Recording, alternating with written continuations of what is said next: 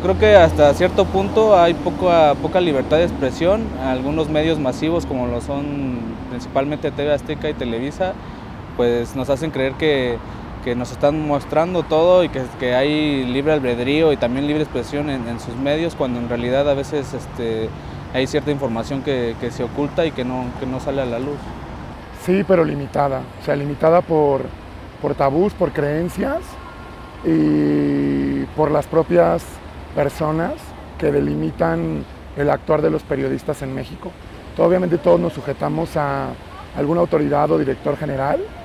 Yo creo que ellos exponen lo que les es permitido por sus autoridades. Hasta ahí, o sea, está limitado. Bueno, pues yo creo que dependiendo del medio de comunicación es como la libertad que puedes tener, pero todos son como manipulados y aún así existe no sé, existe mucha manipulación, compra de medios y, no creo que, que, exista mucha libertad de expresión. Sí, yo considero que sí existe la libertad de expresión, pero siempre ha tenido sus restricciones. Entonces, ah, lamentablemente siento que los, medios de comunicación hoy en día ah, están influenciados mucho por el sistema, por el gobierno. Entonces, realmente sí hay un límite, hay un tope en el cual no se puede rebasar. Un poco, ¿no? Bueno, en la mayoría del tiempo, pues este, ahorita ya está como que muy abierto el. Ahora sí que si tú quieres decir no, se puede decir no y no hay ningún problema. Okay. En los medios, obviamente, no considero que hay libertad y sí está reprimida la libertad sobre los medios y controlada por el gobierno.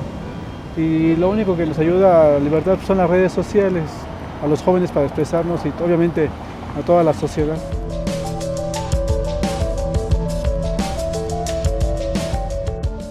creo que últimamente es algo riesgoso ejercer periodismo en México. Porque, bueno, hemos visto infinidad de veces, no solo en los medios masivos, que son, como acabo de comentar, nos ocultan información en la calle, que ya ser periodista te tachan, ¿no? te, señalan y, ya eres como, eres como el medio para mostrar la información y si a alguien no le parece lo que tú muestras, pues entonces van sobre de ti. Sí, sí, yo creo que sí en un 80%. El otro 20% es cuando te metes en el tema político o en un tema muy importante como lo es eh, la economía, las clases sociales, la política en general. Yo creo que es un tema de riesgo para todos los, periodistas, ¿no? Ahí es cuando corres, de ahí en fuera creo que no hay mucho problema en los otros temas.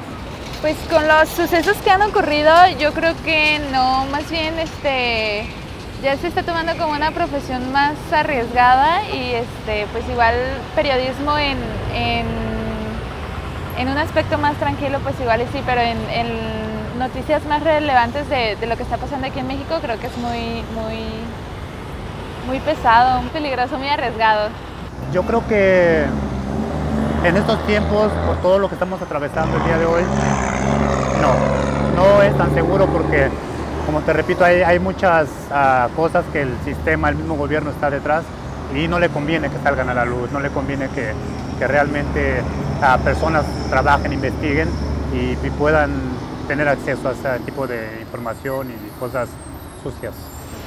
Este, no, no, porque quieras o no, si haces una mala nota, te persiguen o te... Hay muchos periodistas que han sido pues balaseados, pues, he visto en las noticias, de hecho, este, por las notas que hacen realmente. Seguro, no, es muy difícil. Conozco varias personas que ah, en este momento están arriesgando su vida porque pertenezco a un movimiento social y son jóvenes como ustedes que están arriesgando su vida para darnos a conocer qué hay detrás de fondo de nuestro gobierno que desgraciadamente es muy corrupto y todos sufrimos de esta corrupción.